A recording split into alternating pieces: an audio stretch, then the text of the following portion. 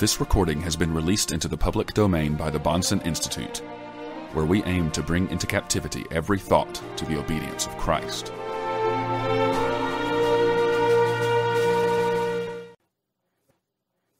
leading to a knowledge of the truth. 2 Timothy 2:25. That's why in 2 Timothy 2:24, the verse just before it, we read the Lord's servant must not quarrel. Arguing for the Christian faith can and must be done in a way consistent with Christian piety.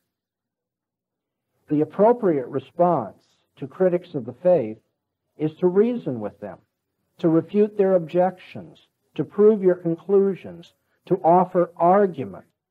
But remember that offering an argument does not mean being contentious as a person. You know, and that kind of that had a kind of a ring to it. It was catchy. I kind of liked that.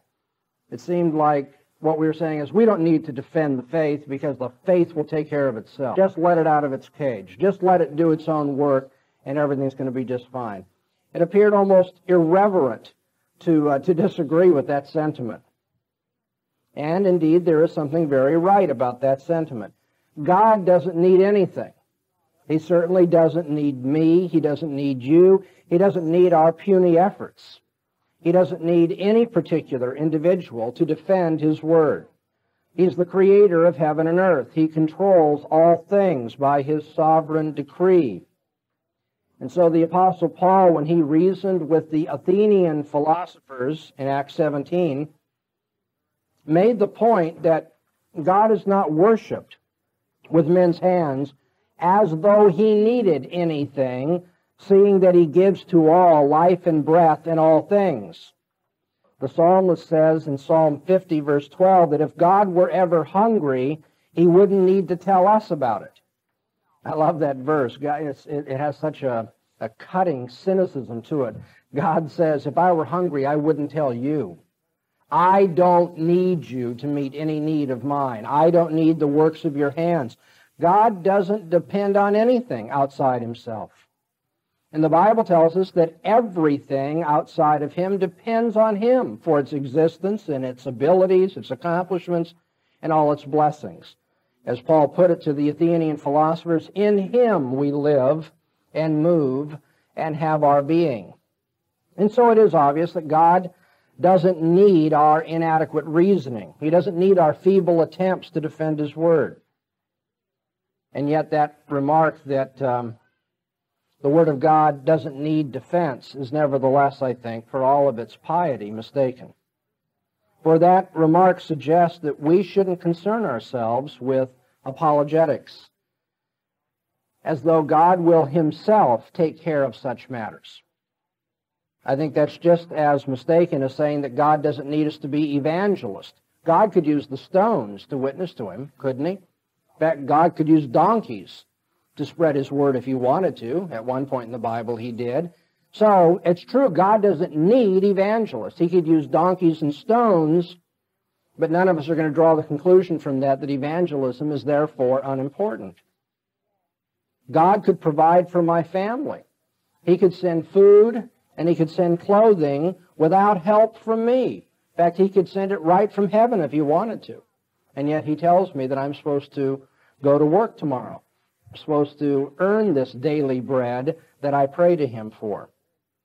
And so when people say we don't really need apologetics because God doesn't need anything, they're confusing what God himself needs from us and what God requires of us.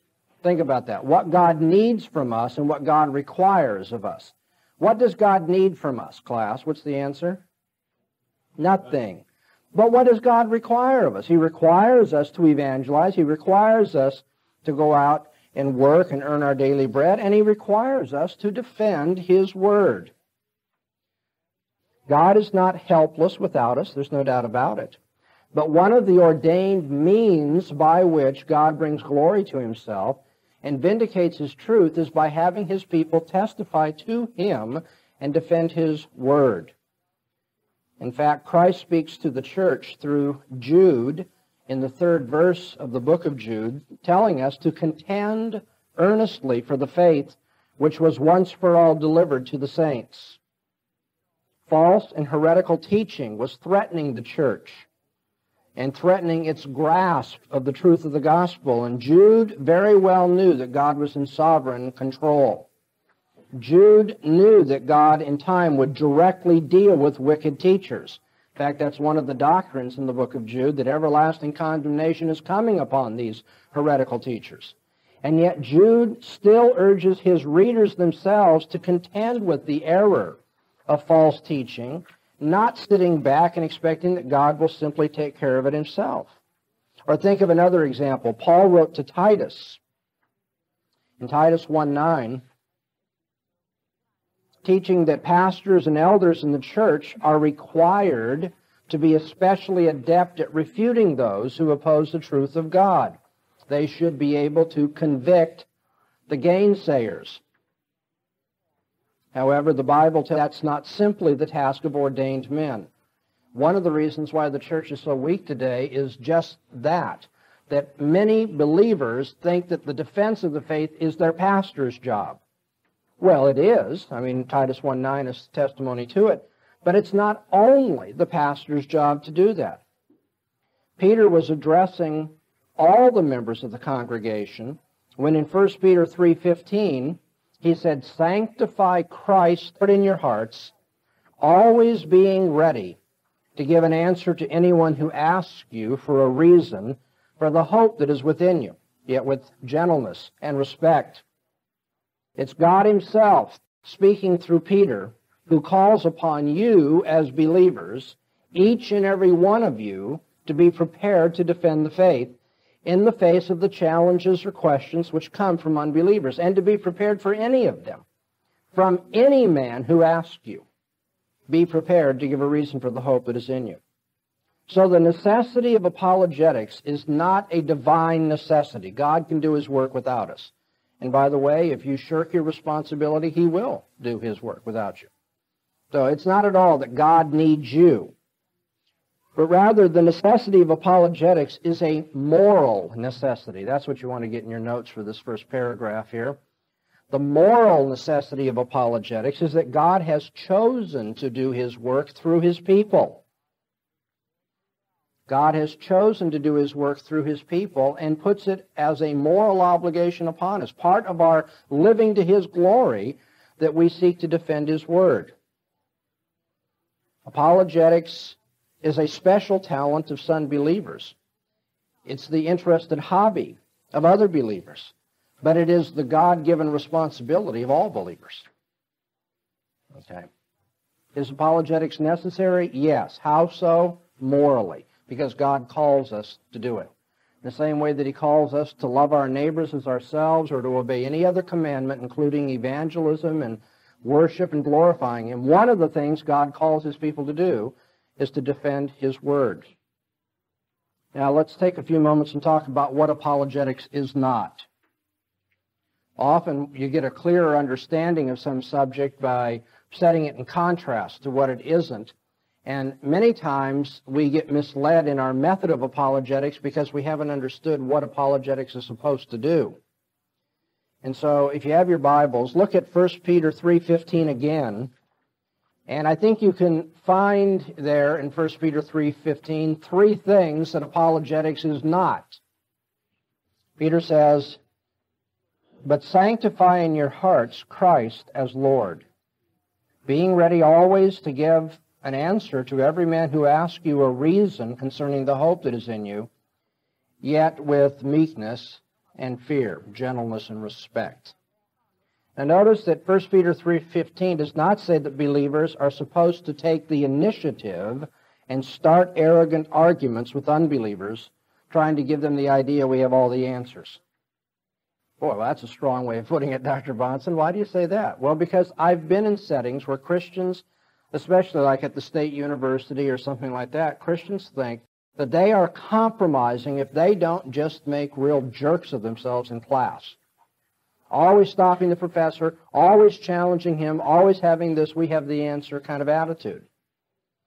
Though the intention is good, and I, and I respect the courage of uh, the heart of a person who does that, The fact of the matter is, it rarely brings glory to God, rarely accomplishes much at all. 1 Peter 3 does not tell you to go out and pick fights. You don't have to go looking for it. You don't have to sport or encourage the attitude of, I'll prove it to you. That you're ready to refute anybody. You just relish the opportunity. What the text does say is that we're to offer a reasoned defense in answer to those who ask for such from us. Whether they do so as an opening challenge to the integrity of God or as the natural response to our evangelistic witness. We are living our lives and making clear who we live for, why we do the things we do. If we are evangelizing, people are going to ask us, why? Why do you believe that? How can you believe that given modern science or whatever it may be? There'll be plenty of opportunities for apologetics. You don't have to go picking a fight. The text also indicates the spirit in which we offer our apologetic answer does. It's with gentleness and respect. Our answers should not be pugnacious. They should not be defensive. We should not answer with a spirit of intellectual one-upmanship. The task of apologetics begins with humility and I want to be very pastoral with you. Please take this to heart. One of the most difficult things that I found not only in my own life, but as I've tried to teach apologetics to others is, in one sense, you've got to equip people to be really sharp intellectually. And that, in a way, makes them more aggressive, right? But at the same time, you have to teach people not to have that intellectual aggressiveness and competence be turned into a kind of overbearing spirit with which you deal with other people. Have you ever noticed how it's hard for us to get that moderation? It's kind of like when we finally do get the better argument, then we want to really pound people with it. And there are very few people who are going to come to Jesus Christ and admit that they've been wrong when you are so pounding on them that they've got to defend themselves, defend themselves, defend themselves, you know? If I want to get, if I'm a boxer, praise the Lord, I'm not. If I were a boxer and I wanted to get my opponent out to the middle of the ring, I wouldn't get him into a corner and keep, you know, punching him, would I? Okay, in the same way, if you don't want unbelievers just to harden up in their defensiveness against your witness, you've got to learn to do it with gentleness and respect.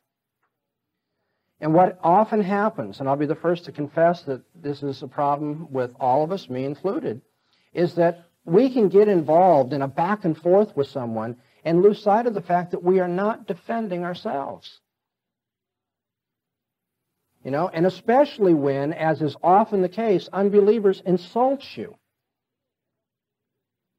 I mean, it just, it grates on me when I know, I mean, and I, I try not to, you know, have this flourish of, you know, parading my degrees or books or something before people, but I know you know, how much it can grate on you when you're talking to somebody who has a sophomoric understanding of epistemology, the theory of knowledge, which is what I have my PhD in.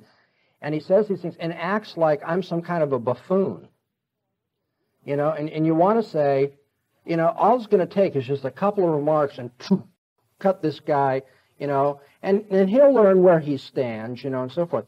But now, what do I do? And what do I accomplish if I do that? Well, if I accomplish anything, I accomplish showing him that I'm a lot smarter than he is. Now, in terms of eternal value, so what? In the first place, I didn't get smarter than him because I'm somehow better, you know. And I have what I have only as a gift from God. Faith is a gift, after all, right? And the Holy Spirit's enlightenment is not something that I earned. And so even if I were to demonstrate that I really do know epistemology better than this, you know, pipsqueak, I would not have done anything for, uh, you know, expressing the kingdom of Jesus Christ and drawing this person into it. Our apologetic answers must be given with gentleness and respect. We must be willing to lose, apparently, lose the argument because we didn't return fire with fire, arrogance with arrogance, insult with insult. The task of apologetics begins with humility. After all, Proverbs 1 7 tells us that the fear of the Lord is the starting point of all knowledge. The fear of the Lord. Bowing before God in awe and reverence. We don't know anything if we don't have that attitude that is, at least in my mind, symbolized by being on your knees before God. In 2 Timothy 2.24, we read that the Lord's servant must not strive. You can translate that, must not be quarrelsome. But be gentle toward all, apt to teach. Apologetics is not a place for the flexing of our intellectual muscles. All right? So the first thing that apologetics is not is it's not a contentiousness that goes looking for a fight or demonstrates arrogance.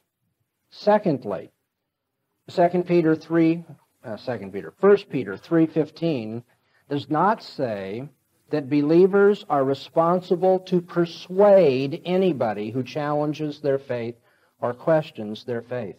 Let me say that again. God does not hold you accountable to persuade anybody who challenges your faith. So what's the significance of this? Well, in the first place, we are not going to be able to evaluate our faithfulness as apologists on the basis of results, are we? We can gain results and lose our faithfulness to God. You aware of that? What if, in the manner that I persuade somebody to become a Christian, I teach them that they're the highest authority intellectually? And that whatever the Bible teaches has got to appear reasonable to them before they'll accept it. Now, have I created a Christian or a monster? If I teach them that the reason you have to be a Christian is because rationally you can see everything that God has presented and, and it's acceptable to you as though you're the highest authority. Or what if I get results by uh, bribing people? Now, I'll give you an extreme example. Um, I didn't think this sort of thing happened, but I actually have heard of a case of it. I knew an evangelist once in a situation where, in dealing with younger people, he offered um, candy to those young people who would come forward at an altar call, you know, and they knew that there would be some kind of reward for their, you know, expressing their religiosity. And I know that's so crass you probably are going to believe that I made that up, but it really happened. You know. Now, what what if we had an apologist who said, "Man, I've got so many notches on my handle. I got so many people that have agreed with me when I got done," and you found out that he's bribing people. Like, I'll pay you ten dollars to say you're a Christian. Now, in a case like that, you'd say, "There's there's no, you know, hands down, we know what to do with that. Forget it. Faithfulness is not measured by success." But you see, we have we have more subtle ways of committing the same crime against the Almighty. We compromise. We want people to believe to become Christians, and so, for instance, we'll kind of hide from them the tougher parts of the faith. We don't want to get into predestination, after all. That just makes it all the harder. It'd be easier to get them to agree that the Bible's the Word of God, hide predestination from them, and then a few weeks later kind of bring, oh, by the way, you might want to know, God determines the end from the beginning, too. And then they go, oh, really? I can't understand that. Where does puppets then? But now, what have you taught the person if you've hidden this from them and just persuaded them the Bible meets their rational expectations? Now you've got this monster Christian on your hands who says, oh, well, that can't be what the Bible means because it doesn't make sense to me. See what I'm getting at? Faithfulness in apologetics is not measured by persuasion. God doesn't call you to persuade people. We can offer, very often, offer sound reasons to the unbeliever. But that person does not subjectively believe what we have told them. We can refute poor argumentation, and still the person holds on to their false views. You know the old ditty? I mean, it's attributed to Plato, although I can't find it in his writings. Goes like this A man convinced against his will is of the same opinion still. And it is true. Sometimes we can convince the person, as it were. I mean, we can leave them without any good answer, and yet they stubbornly hold on to what they want to believe.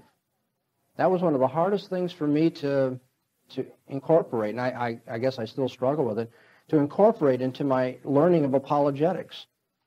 Sometimes we study apologetics with the idea that people are rational systems, you know. like computers. And if you just put in the right answers and the right codes and so forth, you're going to get the right results. But they aren't like that. People are irrational. They are emotional. They are sometimes contradictory. They're sometimes stubborn. Or if you want to put it in the biblical terms, they're depraved. They're sinful. They're rebellious. They've got an axe to grind. They're running from God. And so you can have the right answers which glorify God, which are faithful to God, and still not persuade people. It is not your job to persuade. You can close the mouth of the critic, but only God can open the heart. Your job is to close mouths and then leave it to God to open hearts. It's not in your ability, and therefore it's not your responsibility to regenerate the dead heart of the unbeliever or give sight to his blind eyes. God graciously must do that. Now, let me tell you real quickly what this does not imply. That doesn't imply we should use bad arguments. I mean, since they're not going to believe until God opens their hearts, why do I have to worry about giving good answers? Well, the one that you're defending calls himself the way, the truth, and the life. And if you're not concerned about truth, if you're not sound reasoning, you're not really concerned about the character of your Savior himself. That is to say, you offer sound reasons not only because God can more effectively use them to accomplish his ends, but also because it gives greater glory to God. The fact that you're not able to persuade people doesn't mean you shouldn't labor hard to make sure your reasoning is sound. In Ephesians 1:18 we read that it's God who enlightens the eyes of one's understanding. God enlightens the eyes. And in 1 Corinthians 2:14 Paul tells us that the natural man receives not the things of the spirit of God for they are foolishness to him. And he cannot know them because they are spiritually discerned. Until God in his sovereign grace changes the sinner from within he is not going to see the kingdom of God, and he's not going to submit to the king.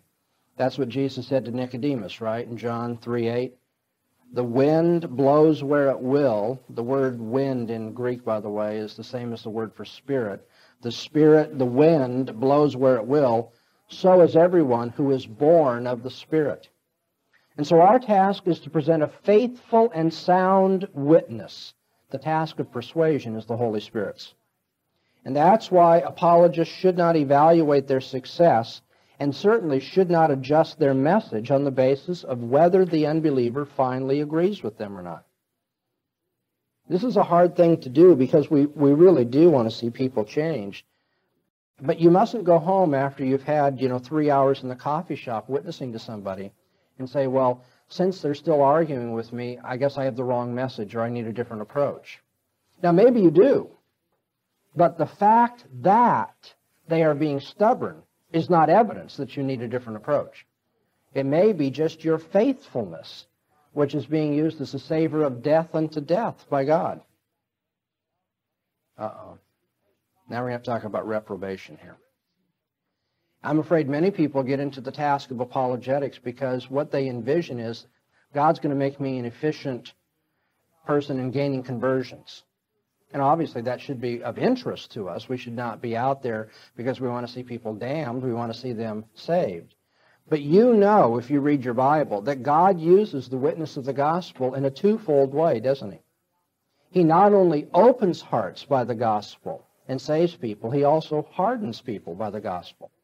Paul says that it's a savor of life unto life and death unto death. And as an apologist, you don't know the ways of God. You don't know his sovereign decree. You don't know his mysterious plan. He may be using your witness to harden someone's heart. Yes, that's dreadful. For all eternity, this person may be lost. But your job is not to determine who God will set his love upon, whose heart he will open. Your job is to be faithful, to give him the glory, to vindicate the truthfulness of his word. Okay, so apologetics is not being contentious, one, and two, it is not a matter of persuasion. It's a matter of being a faithful witness. Uh, to use the statement that, um, that I like, it's your job to close mouths. It's God's job to open hearts. Thirdly, I want you to notice that um, 1 Peter 3.15 doesn't tell us that defending the faith is based on a different ultimate authority than our theology is. It's commonly a mistake made by evangelicals in our day to imagine that the authority of God and His Word must be put at the foundation of theology and preaching, but contrawise, the basis for defending the faith and the authority for defending the faith is something other than God and His Word. We'll be told, well, you can't, when you're talking to an unbeliever, make your ultimate authority God's Word, because then you're begging the question. You'll be told, the very thing you're trying to defend is what you're resting upon when you argue with this person. And so, according to this line of thinking, apologetics must be based upon human reason and experience and then we get people to a certain point where they see that the Bible is the Word of God. And from that point on, then they use the Bible for their authority. Right? It's kind of, look at it this way. You use one approach to show the truth of Scripture. And when you get people to the place where they see that the Bible is God, that Christ is Lord, then you use a different approach. You build up to the authority of Christ and His Word, and then you live subject to the authority of Christ and His Word. So you really have two different things going on here. Two different approaches to your thinking, to your scholarship, two different uses of your mind. One is based on the authority of what, human reasoning, our sensation, logic, what have you. And then we get to a place where we say, no, it is not my mind that's the authority. Christ is the authority. And so in theology, I honor his word. This is the most pervasive epistemological error in the Christian church today. Now, when I use the word epistemological, in fact, if I ever use a word that you don't understand, would you please put your hand up? Don't think that I've come here just to throw all this stuff at you. If you don't understand what I'm saying, I want you to stop me. Epistemological means pertaining to theory of knowledge. What is the theory by which you know things? How do you know what you know? What's the extent of what you know? What is it to believe something? What is truth? How do we justify our claims? Things like that are called epistemological. And what I'm saying is that the Christian church is epistemologically schizophrenic in our day. What's schizophrenia? The Christian church really has kind of two personalities at work. You'll have um, teachers who, when they are teaching theology, sound like their theory of knowledge is the Word of God is my ultimate standard, you know? Come hell or high water, to use the expression. God's Word no matter what. They love the Martin Luther, you know, kind of image. You know, here I stand unless I'm persuaded otherwise, you know? I will not recant.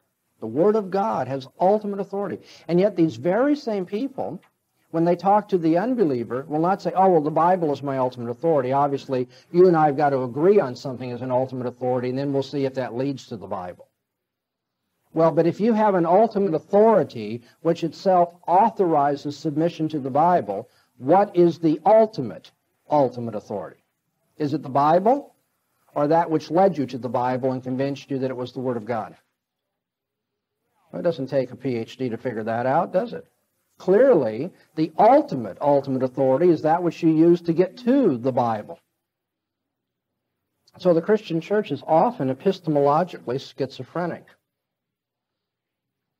And the way in which we escape epistemological schizophrenia is by pushing for epistemological self-consciousness. Ooh, there's another expression. Let's try this. To gain epistemological self-consciousness is to come to realize the implications of your theory of knowledge and to live with them. To come to understand the implications of your theory of knowledge and to live with them. The way in which we escape the schizophrenic approach, having two personalities, one theory of knowledge for apologetics, another theory of knowledge for theology, is to realize that in apologetics, we want to press the unbeliever to the implications the consequences of his espoused theory of knowledge. When an unbeliever says, Well, I know miracles are impossible, what you want to do is push them to find out how they know miracles are impossible. And once you get the answer to that, push the consequences or the implications of that answer. Want me to illustrate that for a minute? Will it help? Let's say uh, you're talking to somebody and they say, Well, I know miracles can't take place. You say, Well, tell me why. Why can't they? Because everything that happens in this world happens by in a cause effect uh, mechanical network. Everything. Is everything? Everything. Of course, if not everything is in this cause effect network, then miracles would be possible, wouldn't they? Because whatever isn't caught in that network, if not everything is in this cause effect network, then miracles would be possible, wouldn't they? Because whatever isn't caught in that network, uh, that nexus of causes and effects, could be the place where the unpredictable takes place, the miraculous takes place. So the person's going to tell you everything is subject to cause and effect. And now what you're going to do, now that you know that that's the conviction of the person, is you're going to push them to be self-conscious. Think about the implications. You know, you want to raise their awareness now of what they've just said. Do you really want to live with that as your theory of life? I mean, is that the way you're going to look at human life and how we know things? What if everything, absolutely everything, was subject to cause and effect mechanisms? Well, then you're going to say, then your belief that miracles are impossible is also a result of this cause effect mechanism, isn't it? That is to say, what you are saying is what you inevitably must say because of the electrochemical events taking place in your brain.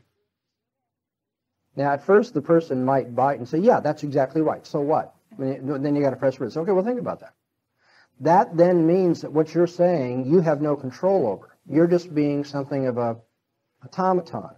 You're just the uh, you're just the flesh and blood end result of these electrochemical results, with your tongue and your mouth forming the words saying miracles are impossible. Now somebody says, "Yeah, well, so." You say, "Well, then that means that what you're saying is not based on considerations of truth. It's just like weeds growing, just what happens automatically because of the chemistry of the situation." Which is to say that if your naturalism and determinism were true, you would have no reason to believe that they're true because you would just be a robot saying this. Hmm. Epistemological self-consciousness. What I've done here in a very obviously elliptical way, I've condensed it. What I've done here is shown you what you do with the unbeliever is you take him where he is and say, let's ask about your worldview. Let's ask about your theory of knowledge. Do you really believe this? Is this, in fact, what you want to be stuck with?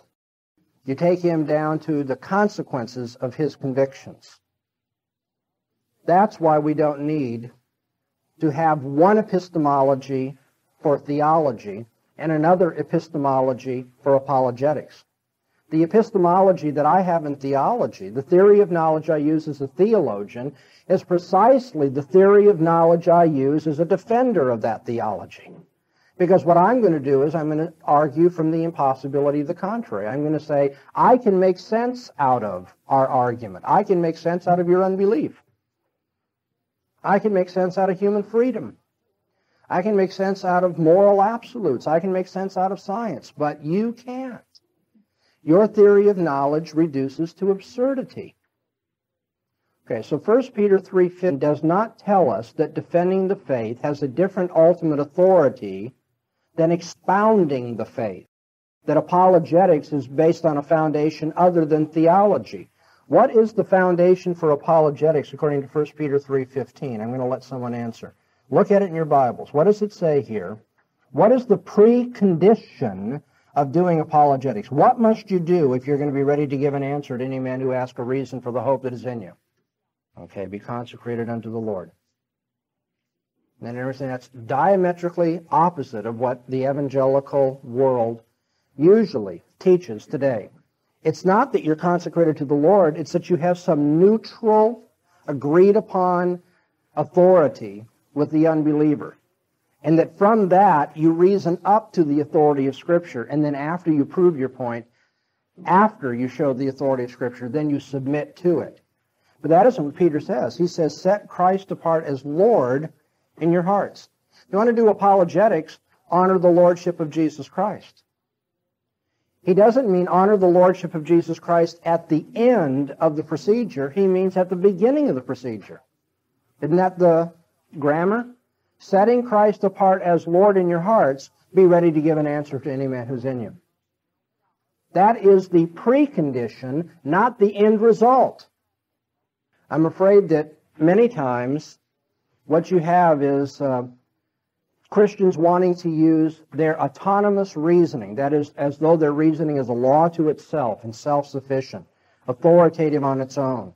They want to use their autonomous reason like a ladder. You know, you get up to the roof, where now you finally have established the authority of Christ, and now at this point you turn around and you kick the ladder away. I had to use my autonomous reason to prove that Jesus is the Messiah, that he is the Son of God, and that the Bible is the Word of God. But now that I've proven it, I don't want to act like that. How disrespectful that would be not to honor the Lordship of Christ. So now I kick the ladder away, and I'm just out here on the roof, you know. Two different epistemologies, one for apologetics, one for theology. And I want to suggest 1 Peter 3.15, right in the very terms of the challenge and call to do apologetics tells us we are not to do this. Does this mean apologetics does not use reason or reasoning? And by my watch, this looks like a good place to take a five minute recess. So let's break, and when we come back, we'll take up that question.